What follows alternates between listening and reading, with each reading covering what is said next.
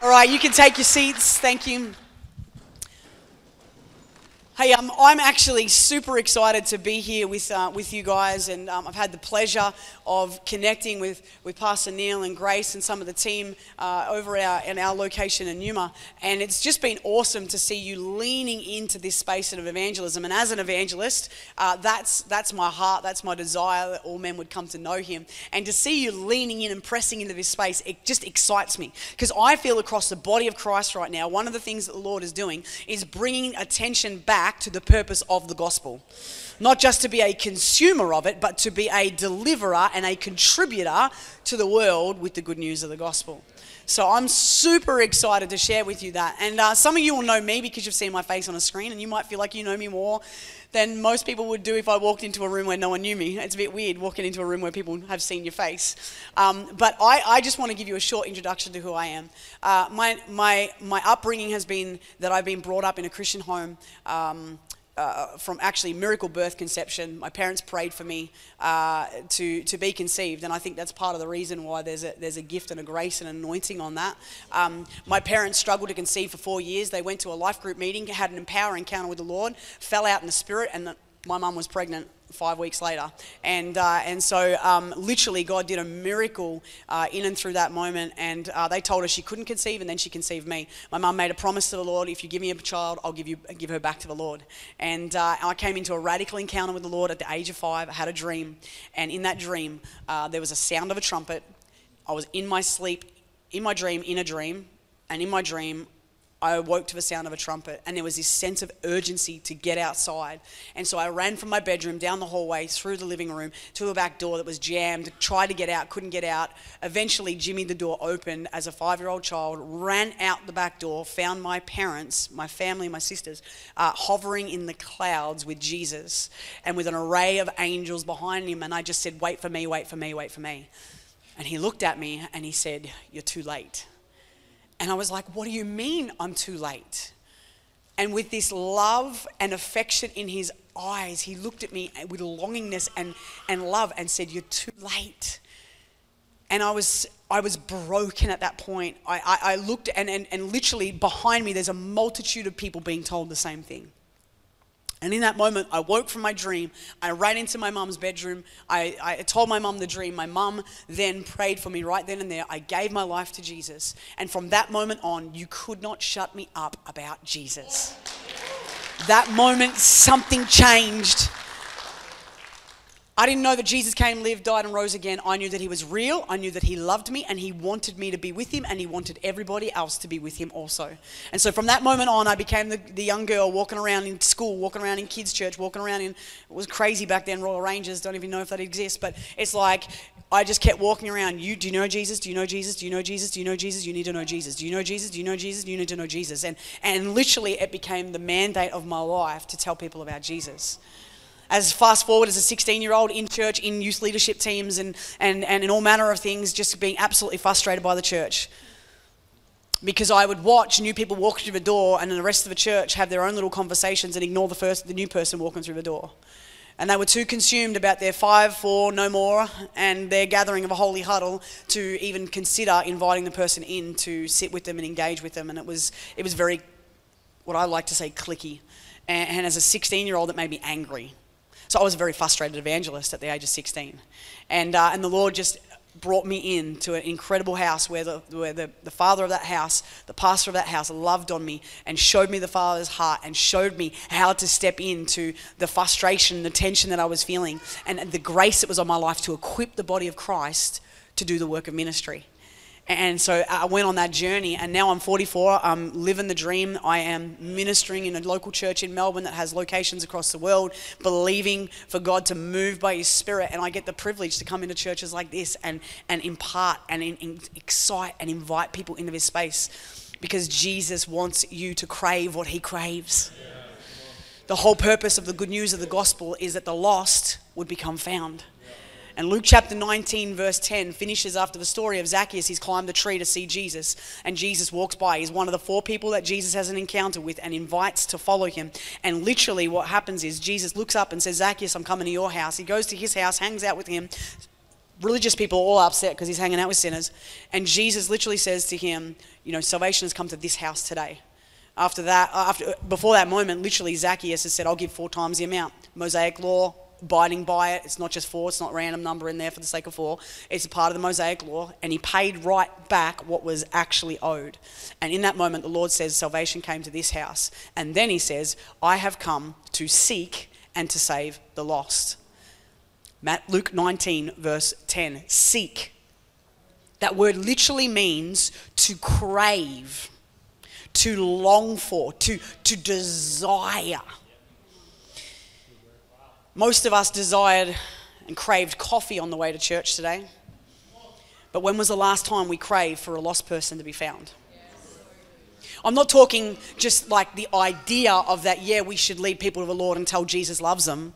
I'm talking when was the last time that we craved long people? Like the kind of way that you crave your coffee.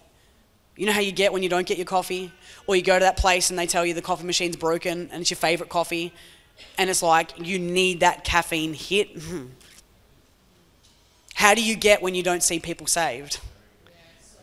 Do you just press on and push on in life and just be like, oh, well? Because I would suggest that uh, that means that we're not craving what he craves. And this is a heart's desire for us today is that He would provoke in us a desire for the lost to be found. And at the age of five, that's exactly what He did to me. I'm 44 now, and I've been walking with the Lord my entire 39 years. And all I want is to see more. All I want is to see more people encounter the love of Jesus. And I believe I'm in a room where there are people here who are absolutely filled with the same conviction and the same passion. But maybe somewhere, somehow along the lines, we've forgotten the power of our own story, which hopefully you just learned about last week. And we've actually forgotten the potency of the gospel message that we carry, and we kind of move in our everyday life and actually forget that we are meant to crave lost people. Because I know about you, but I'm busy. My life is busy. And you know what? It's really hard because I work for a church. So everyone in my world's saved. It's extra hard. So I go to the gym and I go to cafes and I go to milk bars and I go to petrol stations and I, and I look for opportunities for where the glory of God can break out. Even just getting in an Uber, I'm looking for, oh, what do you want to do in this space? Just last week, I was in an Uber coming back from Perth, and, and I felt on the Lord. There was this Muslim lady in the car, and I felt in the Lord, his heart was for her, but she was like stone cold. You ever met one of those people stone cold? You're like, oh man, this conversation's hard. Like it's 4:30 in the morning, and I'm like, hey, so how are you? Yep. Okay, good. Do you like this job? Do you like driving Uber? Yep. Nah. Hate it. Okay, I'm feeling good in this car right now. Like, I'm having one of these conversations, and I'm like, Lord, I know your heart's for us. Show me an open door. Show me an entry point.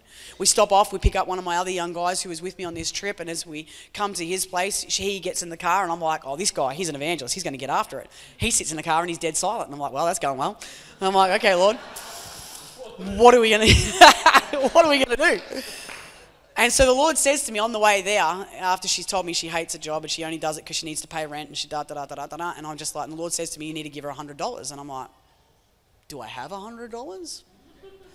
And, and the Lord's like, you need to give her 100 bucks. I'm like, okay. He said, don't give it to her until you get out of the car. And I was like, oh, okay. There's a Metron. Anyway, that's a whole other story. But as I, as I lean into this space, I get out of the car and I get the bags out the back. She comes out the back, and I just said to her, hey, listen, the Lord spoke to me and He told me to give you this. Jesus wants you to know that He loves you. So I use God first because with the Muslim, it's always good for an entry point. Acknowledge God. Jesus wants you to know that He loves you. He knows you by name and He knows your need, and He wants to meet that today. And you saw her, she's welled up with tears in her eyes. And she was like, Thank you, thank you, thank you. And then I prayed for her, and I prayed the sinner's prayer over her life. And I said, Jesus, reach into her world today and tell her that you love her.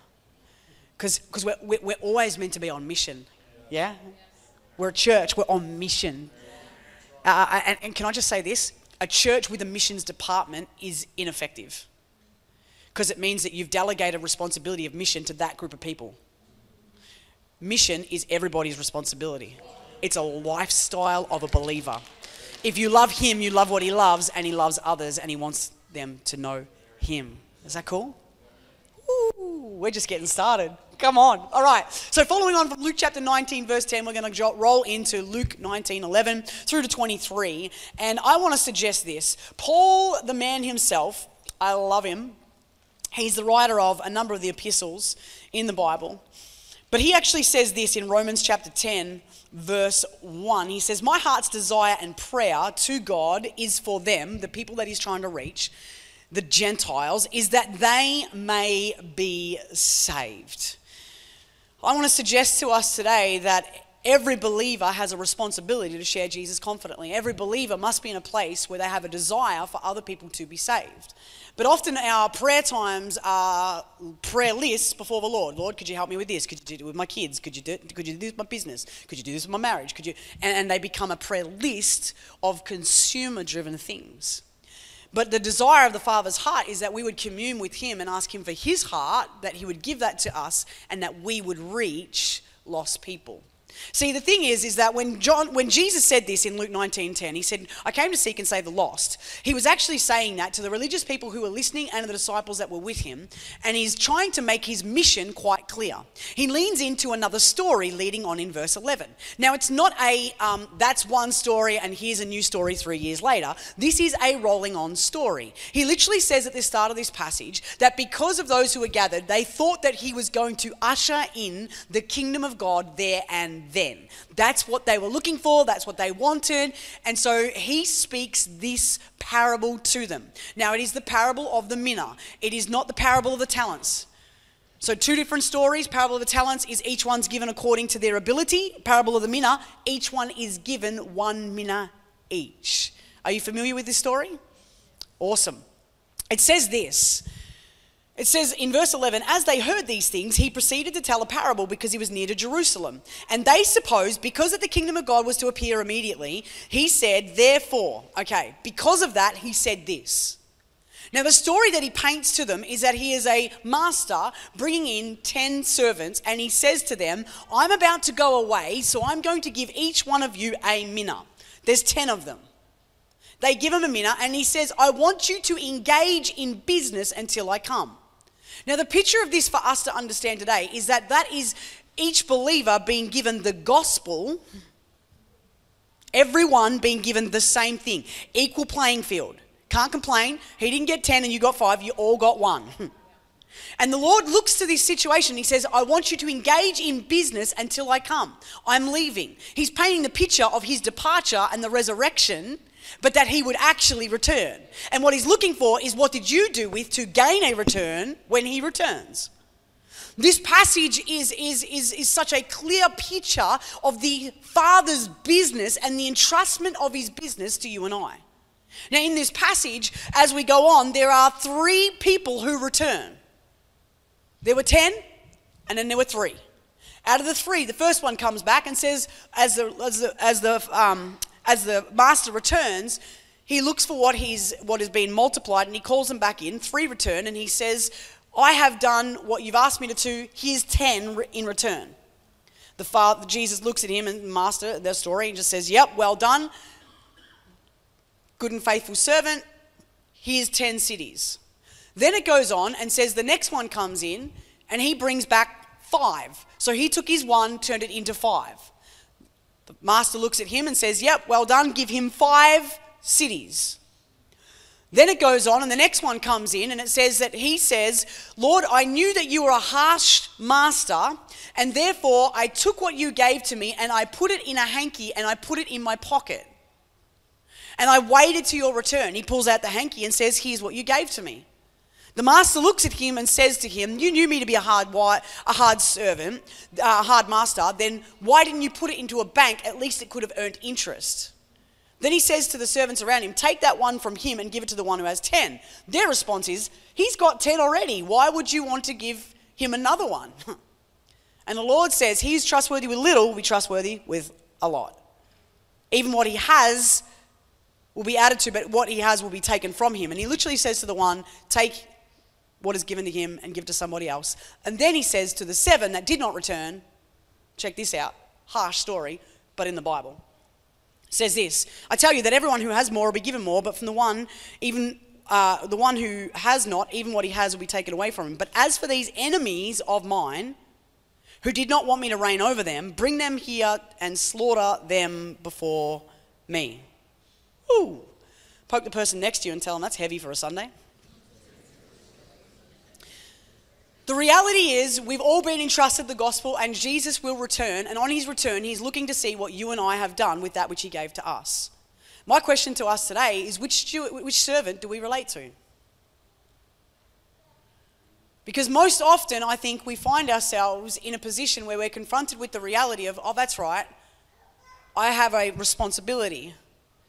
And often, what happens in the business of our life is that we find ourselves so busy about what we're doing that we forget that there is and is a kingdom and that there even is a king and that he's asked us to do anything. And, and, often, what I find in my own life is that if it's not on the forefront of my mind, if it's not in my prayer world, and if it's not on, on my heart, then more often than not, there's not many people getting saved around me. And I don't believe that we're just called to stand on platforms and just preach the gospel and, and, watch those come to the Lord through that. Although that is a good thing, hear my heart, I would much prefer to see a church have more soul winning on the outside of the four walls than it has on the inside of the four walls.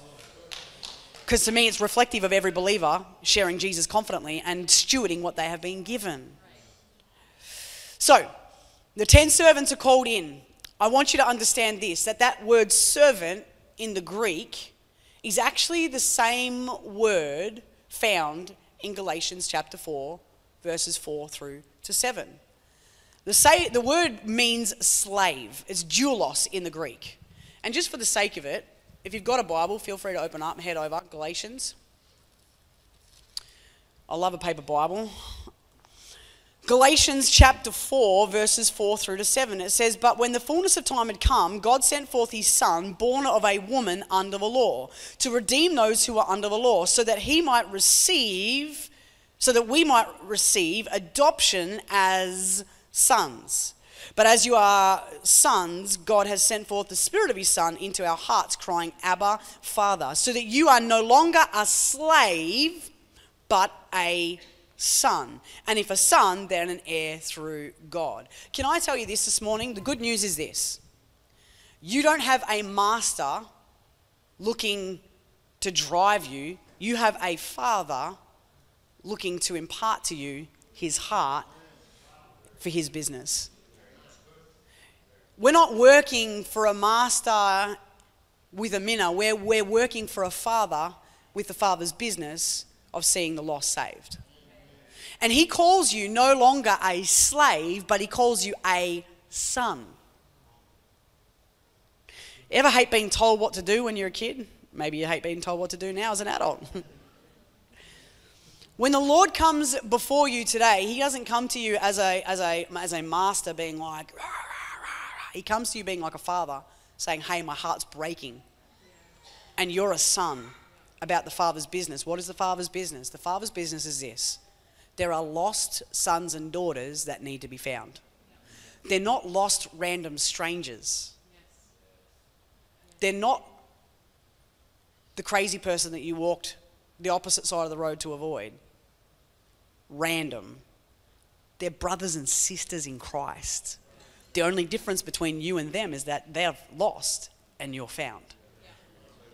And what we have is the extension of the Father's heart to reach into their worlds and say, Jesus loves you, has a purpose and a plan for your life. This is how He changed my life. Can I introduce you to Him? Have you ever considered you giving your life to Jesus? And would you ever do it? Would you like to now? Huh. It's, it's, it's ridiculously simple, but yet so profound. And the beauty of this is that Jesus himself was not looking for a striving servant, he was looking for a faithful servant. Because when the man came back with 10, he said, Well done, good faithful. Not striving. You ever, have you ever met a constipated Christian? They're really awkward people to be around. They're always like, Oh, Lord! Like, I'm sorry, that might have been a bit graphic. Um, just intensity. Man, the Jesus I read, he, he's got an intense message, but he's filled with love, joy, peace. He, he has this joy about him where sinners actually want to hang out with him. Like, We're not meant to be out there yelling at every single person, you sinner, you're going to hell, you need to. No, no, no, no. We need, to, we need to come with joy and love and hope and, and bring the Father's heart, not a master with a slave, but a father's heart to a son or to a daughter who needs to be found. That's his desire. That's his desire, is that we would seek and save the lost. We would seek and crave the lost like he does. And I love this because, you know, I was, I got a nephew, I got a family, I come from a Christian family. I think I'm like, we worked out fifth or sixth generation Christian family going back. It was all Methodist back in the day, but Jesus is the foundation, yeah. And, and, and as, as a result, my, my generations previously to me, my great nana used to pray for the great great grandchildren, the great grandchildren, and the grandchildren, and the children. Like she, they prayed for each generation. And so my nan, who is 97, God bless her, she, um, she only died last year in Perth, uh, in, in Melbourne while I was in Perth. And I got a phone call to say that she was passing away. And I was like, okay, everyone's got a time to go. She's 97. And I said, I was disappointed because I was in Perth. I wanted to be there. And uh, I said to her, Nan, look, I'm praying that you would, you would survive the weekend so that I could come and visit you. But if you don't, I'll see you in heaven. How pleasant is the death of his saints in his eyes? You're a good woman. I love you and thank you for praying for me because she prays for every generation. And she passed that on to the next grandma, the next, and it goes on. But as I prayed for on the phone, huh, she just had a, um, she had a fall, she had a bleed on the brain, she'd fractured her spine, she couldn't move, and as a result of the bleed on the brain, she couldn't talk, she lost her speech. And they said that she would be dead the next morning. And uh, I got a phone call the next day to say, hey, well, look, here's a surprise. Uh, Nan is up walking around. She is telling everybody about the good news of the gospel. Ha!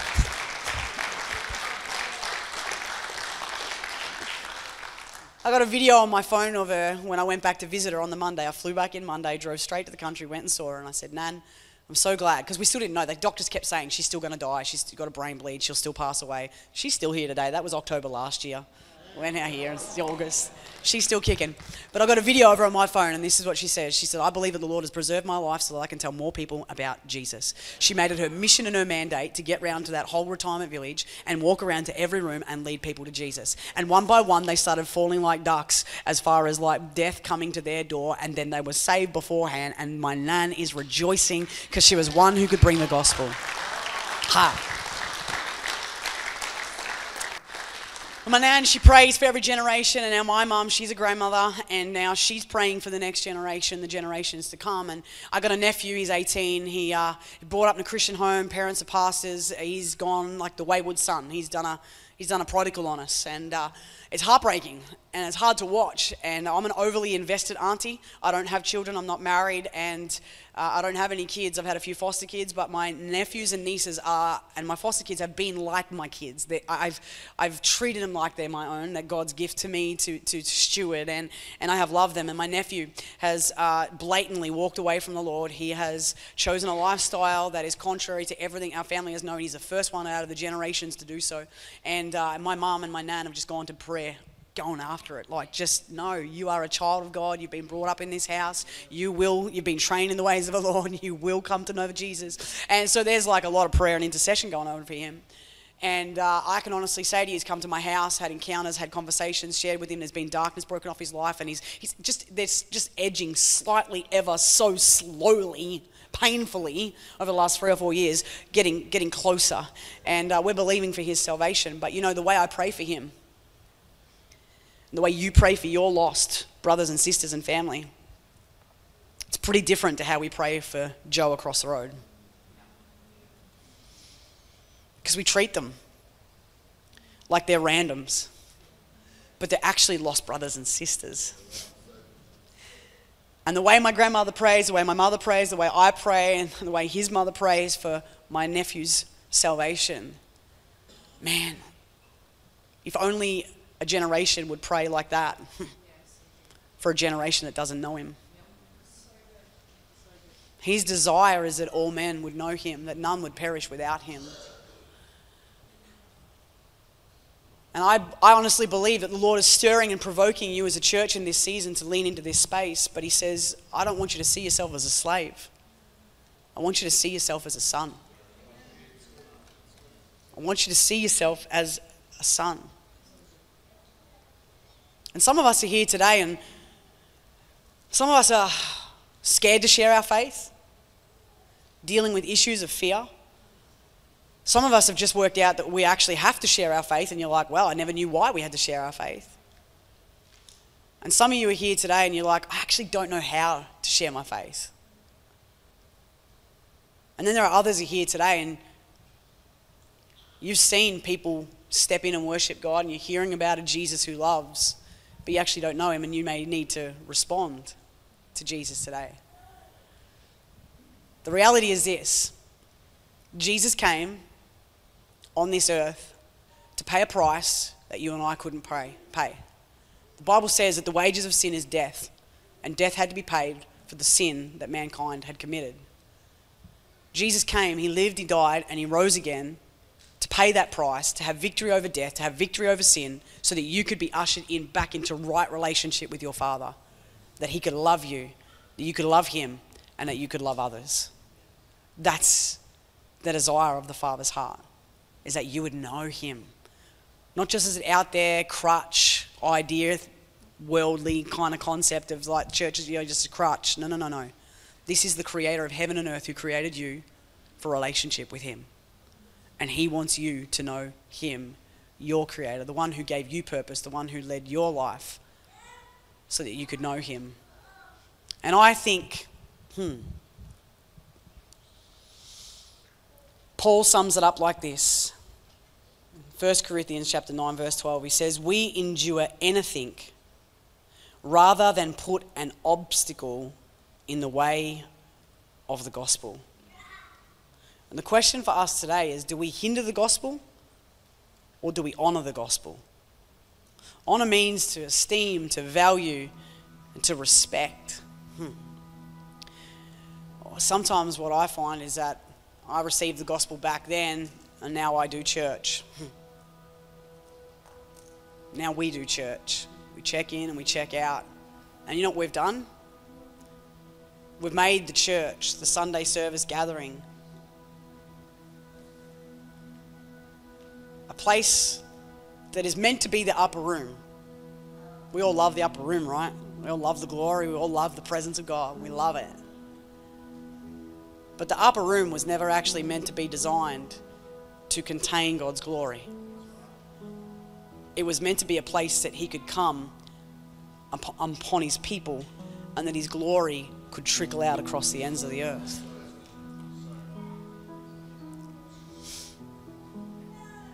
Do we hinder the gospel? Are we an obstacle for people coming to faith in Christ because we're too busy, too caught up? or because we've turned the Sunday service into an upper room where we have turned it into a container of God's glory where we check in and check out and come back. And we've turned it into a form of escapism from the world. Because unfortunately, it's much easier to be in here and enjoy the comfort of family and Christians and love one another and give for one another, care for one another, and all the things that come as a part of the body of Christ community.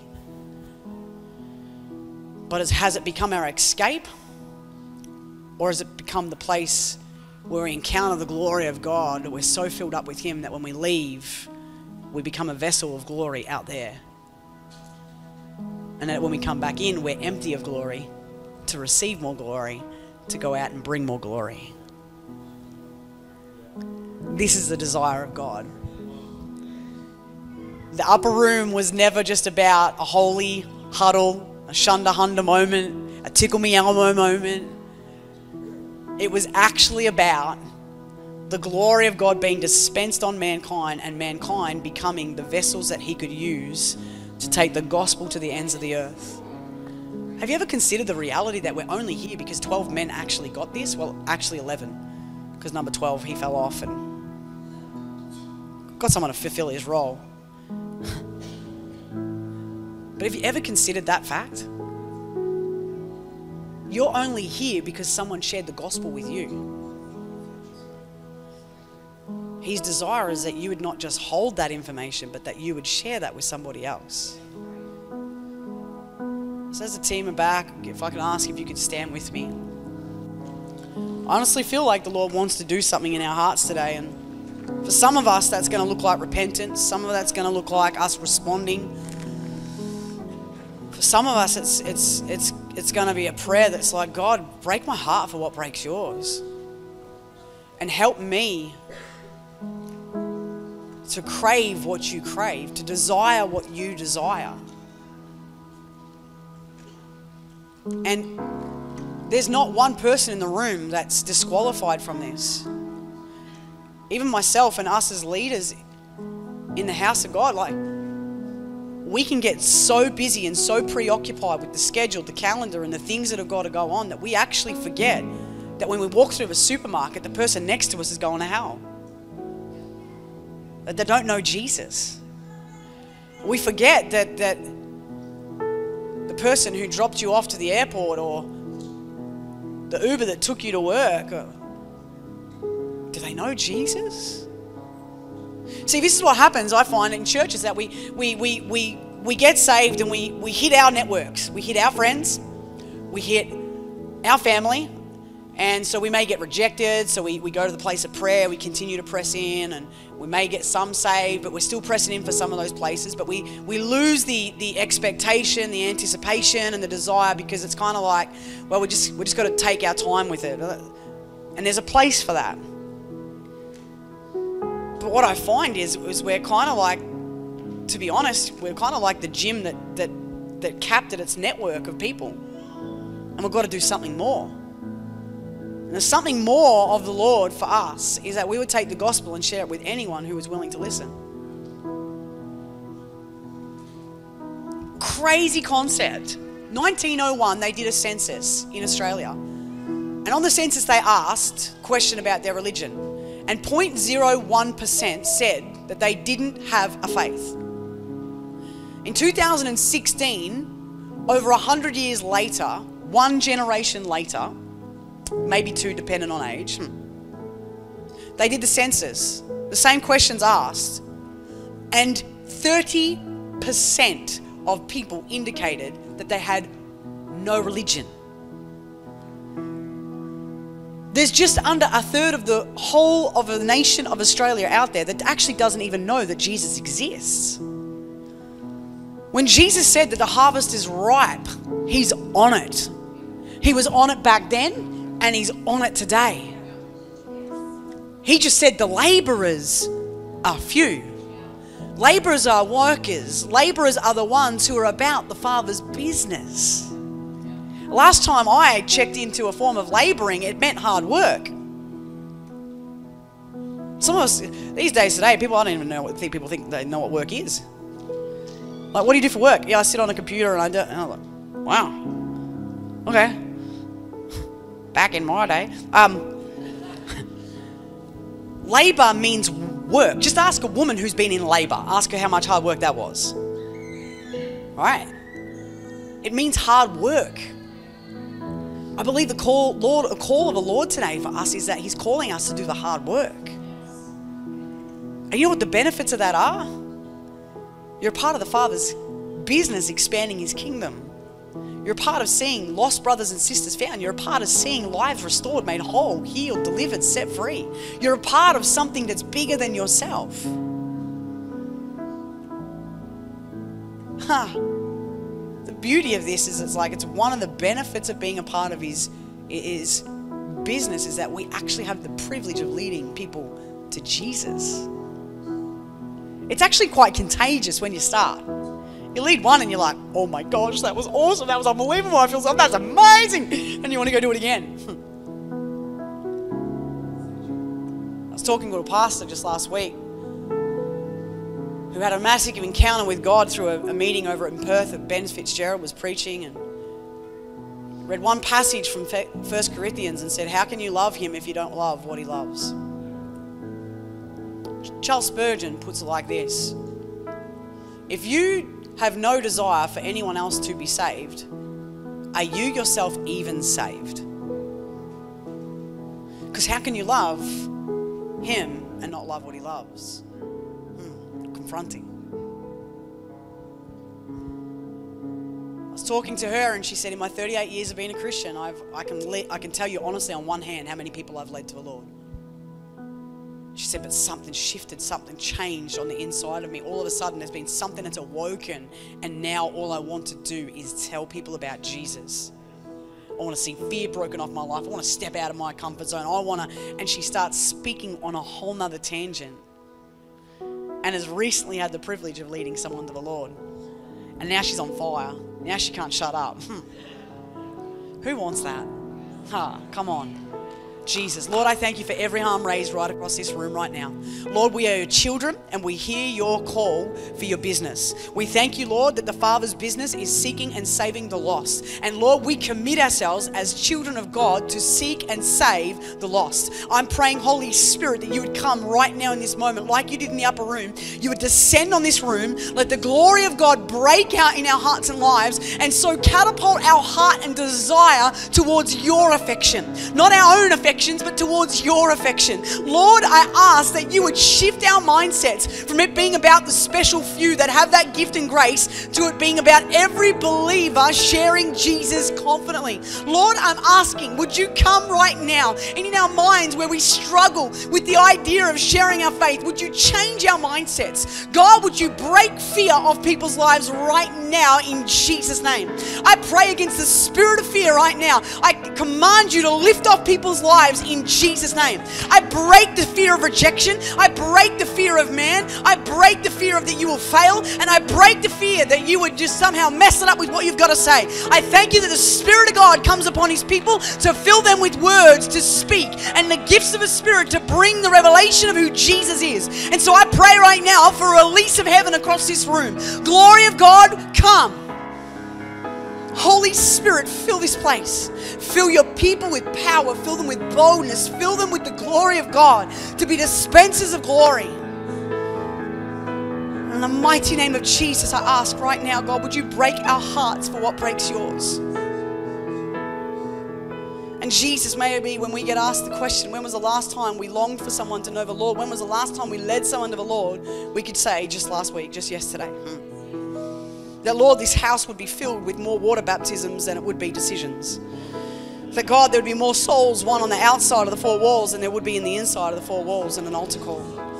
Jesus, we long to see you glorified and lifted high across this earth, and for the name of Jesus to be known, that every man would bow, and every knee would, would bow, and every tongue confess that Jesus Christ is Lord.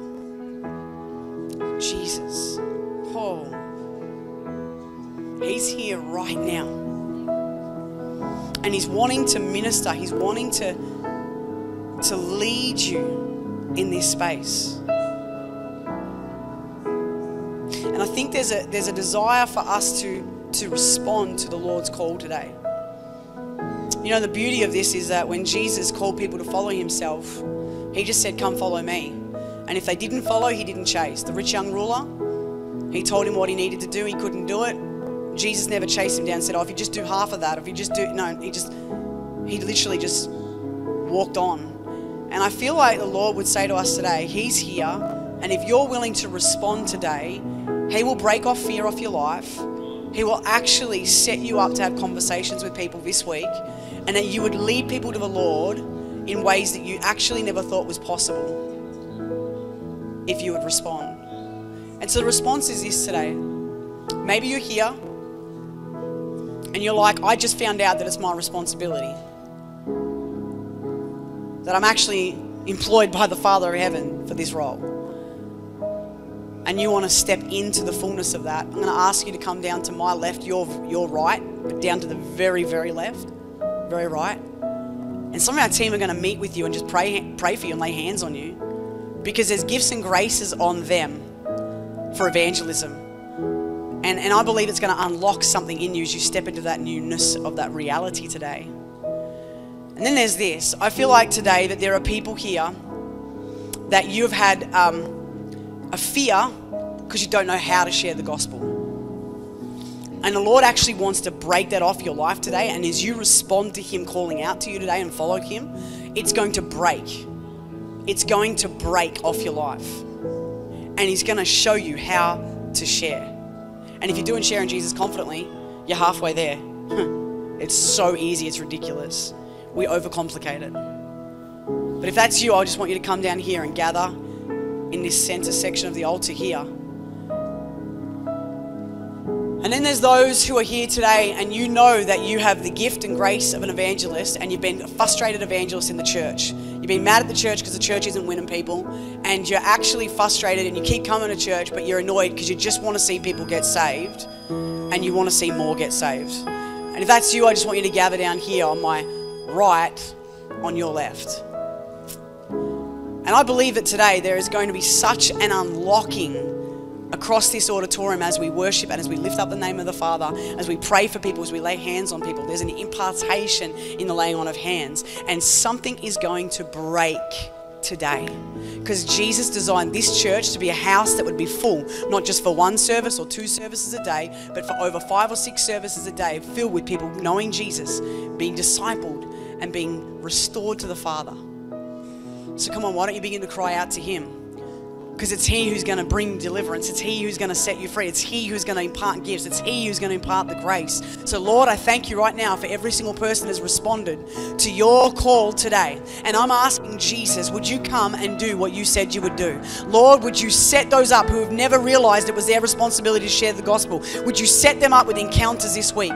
Lord, I pray for those who have fear, those who have felt like they don't know how to share the gospel. I pray, God, would you come and reveal yourself to them and may they live by the Spirit, keep in step with the Spirit, and Lord, as they live and led by the Spirit, that they would reach encounter after encounter where they could lead people of the Lord. And Lord, I pray right now for an outpouring upon the evangelists, that Lord God, you would set them up to show them how to teach others to share the good news of the gospel. That Lord, you would cause them to be more fruitful, and that the kingdom of God would be open and displayed with power and with authority in the mighty name of Jesus.